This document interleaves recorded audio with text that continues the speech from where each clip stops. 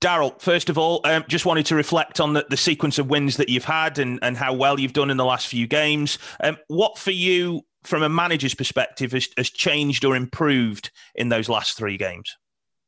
Uh, I think the the effort and commitment with, with, that added bit of quality. To be honest with you, and that's what you need to win football games. Uh, the first two should be a given, not always and then you you're looking for the the quality to shine through, and and that's happened in a few games. But I think the work rate gets you there. You know, you talk about David Worrall putting that finish in, you know, the third goal that kills the game off. That's that's pure desire. That's pure work rate. That's that's not good play. That's somebody wanting to chase a lost cause to get an opportunity to make advantage of a mistake. And that's what I'm talking about. So I think that the hard work and the graft enables you to to be able to, you know, the look of the rub of the green go for you.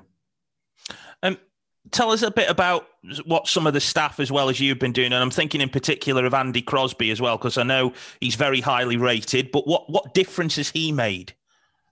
Well your backroom team your support staff it's your my job as a manager to make sure that's absolutely spot on and everyone has to be accountable.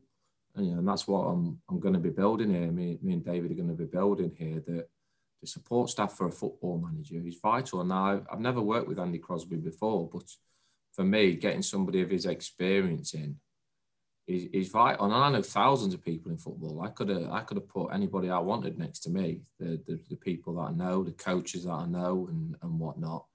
And but I wanted somebody that I thought was going to be the right fit for the football club. You know, certainly for, the, for obviously for this season, and we'll see how things develop for for the future. So it's and it's making sure in your backroom team you've got those um, right lieutenants, I call them, and that means the, the, the driving machine that comes from me, that comes from my staff, my support staff, to be able to put a product on the pitch that's successful. On the pitch, you've brought Harry McKirdy back into your matchday squad. Um, I think it's fair to say he's been a bit unpredictable in the time he's been here. What can you do as a manager to get the best out of a player like that? Yeah, I'm asking him the same self, the same breath now. Listen, Harry McKirdy is a maverick. It's what I call a maverick. Okay. I'm trying to help the kid. I'm trying to support the kid. The kid's got talent without a shadow of doubt. Otherwise, I wouldn't be even having this conversation or I wouldn't have worked hard to get him in the squad. Because trust me, it was no skin off my nose. Okay. But I want to work with him. I want to help him. I want to support him. Okay. But that that ball is firmly in his court now.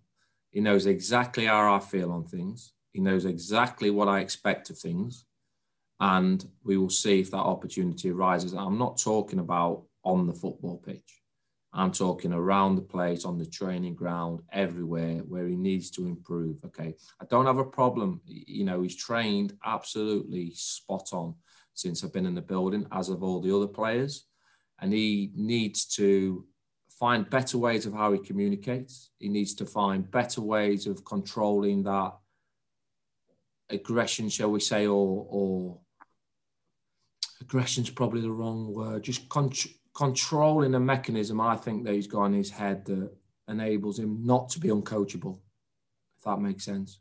There'll be many of managers and coaches, in my opinion, that'll struggle with Harry unless he learns these attributes. Okay. And I've made that crystal clear to him because the kid has talent and he's up to me as a manager. I, I, I want to give it my best shot. I want Harry to give it his best shot for these last final five, six weeks. He's going to have to work hard to get in the team because the team's winning football games to, to show me that he can potentially be part of the future. So uh, we, we will see how that develops and we'll see how that goes. That that is the big question, isn't it? Because you know, five six weeks ago, everybody just said his future at the club was dead as a doornail. But do you now see a way back for him to be part of a long term future? Back to the original time when I come in, what is forty five days or so, whatever, fella. Go back to the original statement that I made. Everybody will start with a clean slate. I ain't interested. Okay, I'm not interested in what's previously happened. Okay, what previously thoughts on players and previously this, previously this. I'll be judging people when I've been manager of this football club. I'll be judging my staff while I've been managing this football club and the, the players. And that's how it's going to be going going forward. Now, Harry has not been in my thought process, he's not been in my plans. I have been trying to help him because he's an employee of Port Vale. I have been doing my man management with him. uh, as of a numerous of players. You know, we've got Dan Trickett Smith as well, who's a young lad who, who can't be in the squad as well, unfortunately. But as a manager, you've got to man manage every single player and support those players. And uh, but also giving them that clean slate that enables them to to to prove and show me they're going to be on part of the journey moving forward. Just finally, then, what do you make of those two Easter fixtures? I don't want to uh, put any pressure on you, but I've looked up the stats, and Vale haven't won four league games on the trot for eleven years. so there you go. Listen, there's nobody in this building, nobody, anybody can put more pressure on me than I put on myself, ever. So let me get this straight. Listen, I I expect to win every football game I manage. That's the pressure I put on myself, okay, and the demands I put on myself. So I think it's a pressure that we can certainly look forward to after the last three wins. We've got another good team in Exeter coming coming here on, on Friday tomorrow. So uh, we look forward to it. That I think they'll be in the top seven, but hopefully we can we can take the points. That'll do for me. Thank you, Darrell. So. Morning, Darrell. Mike, how are you? Yeah, I'm fine, thank you. you? Yeah, not bad. Not bad. Darrell, you, you, mentioned Nathan Smith after his performance last week, and I just wanted to ask you a little bit more about him. How impressed have you been with his basically his, his all-round performances and what, what he's, he's a winner, Mike. He's a winner. He's a winner that gives everything for the shirt and everything in training. So with those players, I support. I support them all the time. If they have bad games, I support them.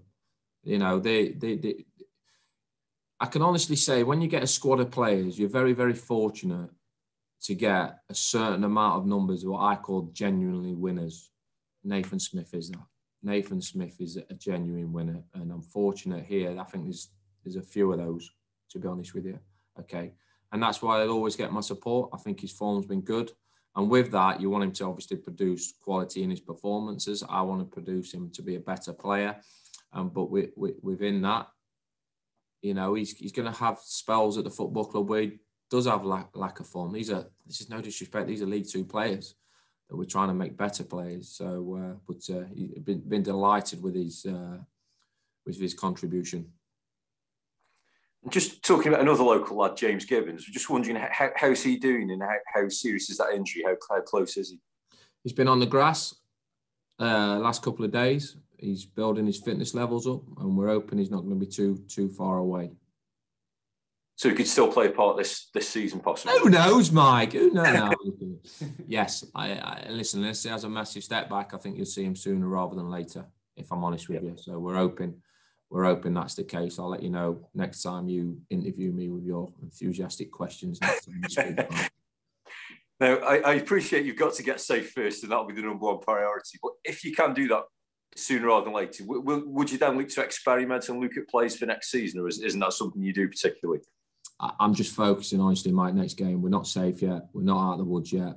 We're nowhere near out of the woods yet. There's a lot of twists and turns. It's a big weekend of games for us uh, Friday, Monday, and we'll assess things as we go along. All I can say is, is we give ourselves a very good platform in these last three games to get the nine points to to, to build from here, and that's the expectations of the of the uh, what I expect of the players to show me that they uh, don't get complacent that they are going to show me that they can be top three, top seven players in this league over the course of these next eight games. That's that's where I want the players to be thinking and uh, heading.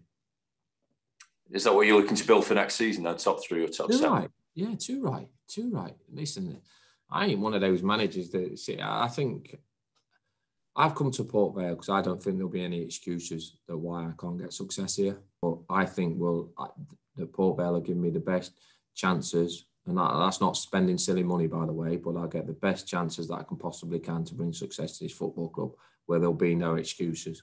Okay. And that's the way I wanted it. That's the way I came across. And uh, and hopefully we can do that moving forward. But uh, we've got a big job on our hands in these next eight games. And then we uh, then we can really start moving it forward of, of where I'd like to take it. Obviously, you've uh, already said, you know, about the commitment and the enthusiasm, the work rate and the efforts, and you said you wanted that touch of quality. You've started to get that now, and I suppose really what you're seeing, uh, your forwards, midfield, are, and the team are asking questions of the opposition. That's the big factor, isn't it? Oh, you get carried away, George. You do, don't you? Nah, listen, the, the, lads are grinding it out, aren't they? Let's be honest. We grind it out. Colchester We won a spectacular game. Crawley was a, probably a better game to watch, better quality. Newport game, real good half an hour, then we grind it out. You've got to find ways how to win games at League Two level, chaps.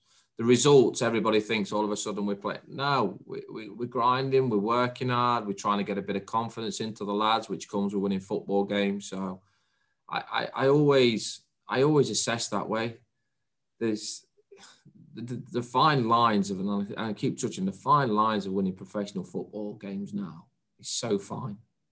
And you need a bit of rubber to green along the way. And uh, we certainly got that with the third goal the other day. How important is continuity then in uh, when you're looking at the team? Uh, you, are the man that wants continuity each and every week? I'm the tinker man, George. There'll be 11 changes tomorrow. That's not me straight back then. no, no, I'm only kidding, George. Listen, no, definitely. Uh, it's been, it's yeah. Friday, Monday, there'll be a bit, bit, a bit of rotation. I think there needs to be the games come around quick, uh, making sure that the players aren't breaking down with injuries as well. So everything needs to be monitored. But I think it's been, it, it certainly helped over these last few games of having that consistency levels. But to be fair, it had probably been like that a little bit. But I picked up injuries, uh, you know, in these ten games, picked up injuries, you know, injuries to fullbacks. So uh, Zak Mills out for the season. Uh, Gibbo's been struggling with injuries. Crooksy, Fitzpatrick. Do you get what I'm saying? So we've yeah. we've struggled with injuries certainly in the massively in the fullback areas. Manny's hopefully starting to start getting them uh, match fitness minutes up now, and uh, hopefully we can kick on from here. You've had the versatility within the squad though, uh, Darrell, haven't you? Really, players who can double up and utilise the roles which you want them to do. We've seen that Nathan Smith can double across if you require that as a fullback as well, can't he? Yeah, he certainly can. He certainly can. I think the I think it's helped. If, if, I'm going to honest, I think you know, listen, it hasn't been a great return in the ten games, but really pleased with the the form of the team in the last three games. But I think it's massively helped the team with a, a little bit of flexibility within the formations within the course of the game, or or just a few little tweaks with the, the personnel to be able to maybe get a game going back in our favour, or to secure the points, if that makes sense. So the, the in-game management of the players has been has been has been very good over the course of these last three games, and that'll be important moving forward. And Manny, Manny Oyeleke, of course, uh, has uh, really got back into the type of form which the fans saw when he first joined the club season or so ago. And he is a quality player at this level, Darrell, isn't he? Yeah, he's, he, he, listen, he, he, looks like he's getting better with games, doesn't he, George? So, you know, for Manny, he, he'll be keen as mustard to try and make sure you know his injury record's not been great this season, so he, will know in himself they'll be keen to make sure that he can play as many games as he possibly can from now to the end of the season. And uh, I'm sure that you know that's what he'll be looking at, and, and, and myself looking looking at, and, and hopefully he can continue with the, the very good performance he's putting in. You touched on Exeter, and of course they've always been there all thereabouts in this league, uh, Darrell, haven't they? Occasionally missed out in the playoffs and the finals, but they are a quality side at this level, aren't they? I think they do it right, Exeter, as a football club. You look at the training facilities, the players they get through the system. I think Matt Taylor's a very good manager, uh, an outstanding manager with, with a good, uh, and I think he, he, will be a manager for a long time. He's, he's one of the, the managers I admire in this in this division. And, uh, and, and the football club, you know, the, you look at Ollie Watkins banging in the goals from England, where he's made in Exeter. They've got a real thirst of making sure that their academy produces players. Okay and but they do it the right way as, a, as an academy, which uh, we want to start creating that sort of environment in our academy that produces more players. And for yourself, obviously, we're in a pandemic uh, more ways than one, which we know all about that. Hopefully, we're coming out you of it. A bit like Boris George, actually, when you're opening us up, mate.